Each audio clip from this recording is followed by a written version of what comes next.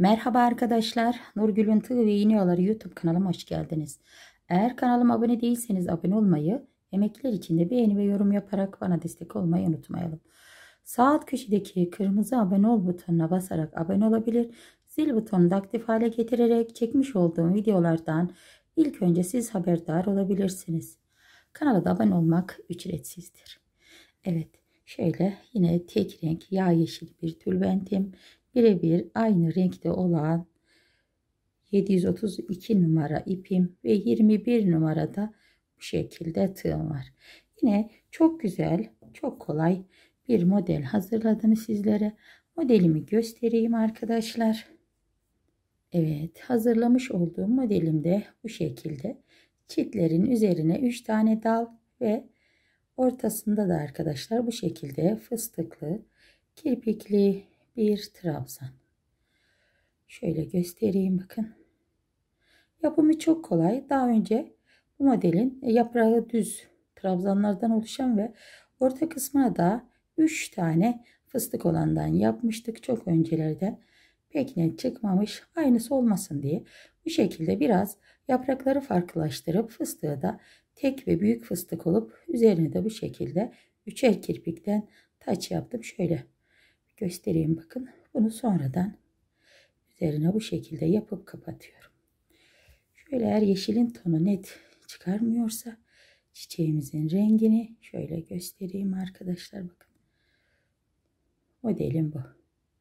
Hoş ve zarif oldu. Şöyle yaprakların uç kısmını da sık iğneli trabzan yaptım. Sık iğne e, sahte sık iğne olduğu için bu şekilde bakın ince dişi gibi daha narin düşüyor. Öbür e, yapmış olduğumuz sık iğnelere göre. Evet modelimiz bu. Şöyle tabi her zamanki gibi tülbentimizin kenar tığlama işlemlerini hazırlıyoruz. Tülbentim biraz kalınca arkadaşlar. Tülbentim cek veya reyyan değil model amaçlı. Şöyle almıştım. Bu 15 TL'lik 10 TL'lik olan tülbentlerden. Maksat bu şekilde kalın olduğu için üçer zincir şöyle hoş bir zürafa görünümü verdi. Evet. Tülbentin e, bu kenar tığlama işlemini merak edenler olursa 696 nolu videomda tüm püf noktalarıyla mevcut bu şekilde köşe dönümü ve geriye kıvırım işlemi kanalımda mevcut. Oradan izleyebilirsiniz. Evet şimdi modelin anlatım kısmına geçelim arkadaşlar. Şöyle başlayalım çimelinin yapımıyla. Evet şöyle ilk başlar gibi başlayacağız. İki tane çiçeğimin arasına bu şekilde 12 tane kirpikli trabzan yapıyorum. 12 tane kirpikli trabzandan sonra dalları başlayacağız. Şimdi arka tarafı unutalım. İlk başlar gibi başlıyoruz. 12 tane trabzanımız olduğuna göre yuvayla başlıyoruz. Yaprağımız için şöyle 2 2 alarak şöyle bir temel kök yuva hazırlıyoruz. Bir zincir şöyle iki tane boş kutucuk yapıyoruz. İkinci kutucuğun içine dört tane zincirden kirpik yapıyoruz. Orta kısmı şöyle güzel dursun. Bir zincirimi çekiyorum. Bir defa tığımı doladım. Şöyle yuvanın içine giriyorum. 2 ve 2 alarak trabzan yapıyorum. 7 tane zincir çekiyorum. Ve şöyle ters çevirdim bakın. Boş olan bu trabzanın tepe noktasına 7 zincirimi çekip sık iğne ile sabitliyorum. Bakın bu şekilde bir yuva oluşturdum. Bir zincirle düz tarafına döndüm. Şöyle dalımız daha destekli duruyor bu sık iğne ile. 3 tane zincir. 2 defa tığı doladım. Yuvaya giriyorum. Bakın 2, 2 ve 2. 5 zincir. 5 zinciri kapatıyorum. Bu yaprağımız için yuva 5 zincirimiz. Evet 3 zincirle tekrar aşağı inip dalı oluşturdum. 1 2 3 zincir. Bakın dalımız bu şekilde kolay bir dal yapıyorum arkadaşlar. Rahat herkes yapabilsin diye. Aynısından buraya 3 tane olacak. Yine 2 defa tığı dolayıp 2 2 ve 2 5 zincir. Tüm dalların üçünün de arkadaşlar tepe noktasına 5 zincirden yuva yapıyorum. Farklılık yok. Evet 3 zincirimi çektim. İkinci dalımı kapattım. 3 zincir 2 defa doladım. Şöyle üçüncü dal için 2 2 ve 2 olarak bu şekilde 3 zincir boyutunda çektim. 5 zincir. Kapatıyorum. Bu da sol taraftaki yaprağın yuvası. 3 zinciri çekerek kapattım. Üçüncü dalımı da tamamladım ve dibine muhakkak bir sık iğne. Şu baş ve son kısma sık iğne yapınca dallar ortada güzel duruyor arkadaşlar. Şöyle trabzan seviyesine inmek için de ara kısma şöyle bir sık iğne yapıp bir tane de zincir çektim. Ve 2 ve 2. Evet dallarımız ve bakın çimenimizin e, oluşumu bu şekilde oldu. Şimdi ara suyunu nasıl yaptık? Onun yapılışına geçeyim. Onu da gösterip çimen kısmını tamamlamış olalım. Evet 1, 2, 3, 4 zincir. Kapatıyorum buraya kirpik oluşturdum. Ara kısma bir tane zincir. Bir defa tığı doladım. Şöyle 12 tane bu şekilde kirpikli trabzan yapacağız. Evet. 2 ve 2. 4 zincir. Yuvaya giriyorum. Kapatıyorum. Bir zincir. Bir defa doladım. Şöyle 2 ve 2. 4 zincir. Bir zincir çekiyorum ara kısma. Bir defa tığı doladım. Hemen şöyle 2 2 1 2 3 ve 4 zincir. Ara kısma bir zincir çekiyorum. Bir defa doladım. Hemen 2 ve 2 bakın.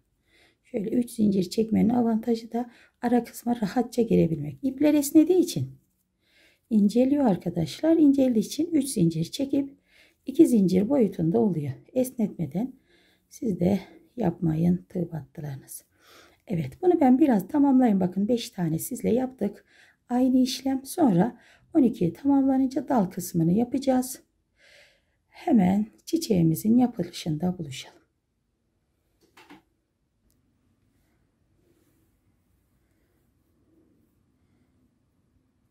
Şöyle geriye doğru çekince arkadaşlar 7 zincirli yuvanın içine gayet rahat dallar bu şekilde sığabiliyor. Şimdi ilk dalın 5 zincirli yuvasına sık iğne ile sabitliyorum ve bir tane de zincir çekiyorum. Bir defa tığı doladım. Hemen yuvanın içine giriyorum. Şöyle bakın 2 2 alarak trabzan yapıyorum. 4 zincir çekiyorum. 1 2 3 ve 4 zincir. Buraya minik trabzanın arasını kapatıp kirpiğimi oluşturdum. Bir defa tığı doladım. Yuvaya giriyorum. Şöyle bir, şöyle iki, şöyle iki, üç seferde. Dört zincir. Dört zinciri kapatıyorum kirpiğimin arasını. Yine iki defa tığı doladım. Yuvaya girdim. Şöyle 2 2 ve 2 alarak 3 seferde trabzan yaptım. 1 2 3 ve 4. Tombik bir yaprak yapacağım arkadaşlar. Güzel duruyor fıstığın yanında. Şöyle ince uzun değil de yuvarlak. 2 defa tığım doladım. Bu sefer 4 seferde çekeceğim. Bakın 1 2 2 ve 2. 4 seferde trabzanımı aldım. Şimdi 4 zincir yapıp kirpiğini yapalım kapatıyorum buraya ve trabzanın arasına girip buraya 7 tane sık iğne yapıyorum bakın 1 2 3 şöyle 3 4 5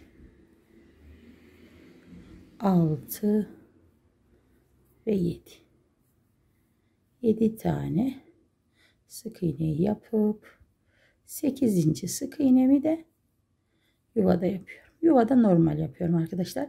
Sadece yaprağın kenarını sahte sık iğne ile yapıyorum. Şimdi buraya geçiş yaparken 3 tane zincir çekiyorum. Ve ortadaki dalımızın içine sık iğne ile sabitliyorum. Evet yaprağımız bitti. Şimdi fıstık işlemine başlıyoruz. 9 tane zincir çekiyorum. Evet. Buraya da 17 tane bu şekilde ilmek toplayacağım. Bakın. Zincirin altından girip üzerinde bir tane bu şekilde ilmek topluyorum. 3 alttan girip üstte bir zincir 4 5 6 7 8 9 10 11 alttan gir üstten zincir 12 13 14 15 16 ve 17 Evet 17 tane bu 9 zincirin üzerine ilmeği topladık. Şimdi bunun hepsini bir çekeceğim. Şöyle göstereyim. Şöyle çekince ortalayınca arkadaşlar oraya bir yuvarlaklık oluşturuyoruz sağa sola oynatarak ve yeşil dalın içine sabitliyorum. Hemen yanına bir tane sık iğne yapıyorum ki şöyle bu çekeceğimiz zincir rahat bir şekilde dolama işlemi olsun. Sık iğneyi unutmayın fıstıktan sonra muhakkak 17 tane zincir çekiyorum. 5, 6, 7, 8, 9, 10, 11, 12, 13, 14, 15, 16 ve 17. 17 zinciri bakın şöyle tam çerçeveliyor. Buradaki yeşil dalın içine. Fıstığımı yapmış olduğum yeşil dalın içine girip şöyle oradan ilmek alıyorum.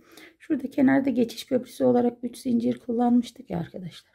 Onu da şöyle altına gelmesi güzel oluyor. Altta kalsın. Onun içine de girmiyoruz. Buraya sabitliyorum. Şöyle bir, şöyle iki, ilk zinciri çekip ilk kirpiği yapıyorum. Bakın. 17 zincirli dalın arasından girip normal sabitliyorum. Burada sahte sık iğne kullanmadım. Şöyle iki zincirimi çekiyorum. Kirpiklerim bu şekilde duracak. Evet, 3 oldu. Şöyle 4 5 6 7 8 8 9 10 aldığı kadar yapıyorum. Sayabilirsiniz de arkadaşlar. İlk seferde mesela 13 tane alırsa şöyle hepsini 13 yapabilirsiniz. 2 zincirimi çekiyorum kapatıyorum 2 zincirimi çekip kapatıyorum bakın şöyle fazla büyük olup taşmasına gerek yok 17 ilmekli fıstığımı çerçevelemesi yeterli bu şekilde şöyle hafif hafif geriye doğru da çekip şöyle kirpiklerimizi düzenliyoruz. Bir, iki zincir kapatıyorum. Bir, iki zincir şöyle kapatıyorum. Bakın sonuna kadar geldik ve yeşil dala sadece hiç zincir çekmeden sık iğne yapıyorum bakın. Fıstığımı tamamlıyorum bu şekilde. Şöyle güzel bir görünüşü oluyor. İki tane zincir çekiyorum. Şu öbür e, yapraktan fıstığa 3 zincirle geçtim. Bir tanesi bu çerçevenin altında kaldığı için arkadaşlar iki gibi duruyor bakın. Ben de buraya geçişte iki zincir çekiyorum. Çünkü büyük duruyor o zaman 3 zincir orantılı olmuyor. Bu şekilde zincirimi çekip hemen yaprağımın yapılışını başlıyorum dalıma. Bir zincirden sonra bir defa tığı doladım. Yuvaya girip şöyle net göstereyim bakın. Bir defa tığımı doladım. Bu 5 zincirli yeşil dala yaprak yapacağım. 2 ve 2. 4 zincir. Buraya kapatıyorum. Bir defa tığı doladım. Şöyle. Yuvanın içine giriyorum. 1 2 ve 2. 3 seferde. 1, 2, 3 ve 4 zincir. Hemen ikinci kirpiği kapatıyorum buraya. İki defa tığı doladım. Aynı 5 zincirle yuvaya giriyorum. 2, 2 ve 2 alarak bakın şöyle güzel bir trabzanlar oluşturuyorum. Işık yansıması. 4 zincirimi çekip trabzanıma kapattım. Son olarak iki defa tığı dolayıp yuvaya girdim. 4 seferde bakın 1 2 2 ve 2 böyle toparlak güzel bir yaprak oluşturuyoruz. 4 zincir. Kapatıyorum. 4 zincirimi buraya. Geriye kalan bu trabzanın içine 7 tane sahte sık iğne yapacağım. Yuvanın içine girdim. ilmek alıp tığımdakinden geçtim. Yuvanın içine girip ilmek aldım. Bu şekilde bakın. Şöyle güzel bir sık iğne oluyor. 3 4 5 6 ilmeğin içinden geçiyorum ve 7 sonuncu bu şekilde sık iğneyi de yapıp yuvanın içine giriyorum ve bakın şöyle normal sık iğne yapıyorum. Evet yaprağımız bu şekilde. Tamam ipimizi koparalım. Dalların kenarlarına yaprağı orta dala böyle fıstığı kenara yaprağı yapıp tamamlıyoruz arkadaşlar. Şöyle e, bu yaprağın yönünü için e, bu taraf tersinden yapınca güzel durmuyor arkadaşlar. Ters yüzü bu taraf baktığı için böyle e, şu, şu yüzünü bu tarafta olmasını istiyorsanız şöyle yönleme yapabilirsiniz. Bakın şöyle 5 zincir çekip buraya sabitlediniz ya geçiş yaptınız. 5 zincir çekip bu tarafı geçip o 5 zincir ve yeşil dalın üzerinden ama şu ters durumu o ön tarafta duruyor.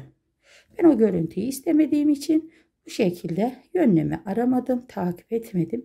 Yaprağımı bu şekilde tercih ettim. Bakın bu düz yüzü daha güzel duruyor. Aynı bunun gibi duracak. Yönleme yaparsanız sağdaki yaprak gibi duracaktı. Evet modelimizi tamamladık. Şöyle ipleri yaktık arkadaşlar. Hoş ve zarif bir model oldu. Şöyle sizler için daha önce hazırladığım sarı çiçeğim. Hoş ve zarif farklı oldu. Yaprağı e, çiçekle aynı renk oldu arkadaşlar. Hoş oldu ip koparmadan. Böyle kolay bir şekilde yapabilirsiniz. Ben çok beğendim arkadaşlar. İnşallah siz de beğenerek yaparsınız. Bir de emekler için beğeni ve yorum yaparak destek olursanız sevinirim. Şöyle. Çünkü kanalın devamı beğeni ve yorumlardan, YouTube'da önermelerde beğeni ve yorumlara göre öne, çıkarıyor arkadaşlar. Siz de yorumlarınızı eksik etmezseniz kanalıma destek olmuş olursunuz. Allah'a emanet olun arkadaşlar. Hoşçakalın. Şöyle sallantılı halinde göstermeyi unuttum.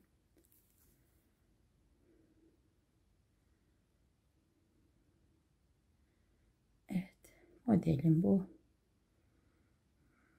Allah'a emanet olun tekrar arkadaşlar. Hoşçakalın.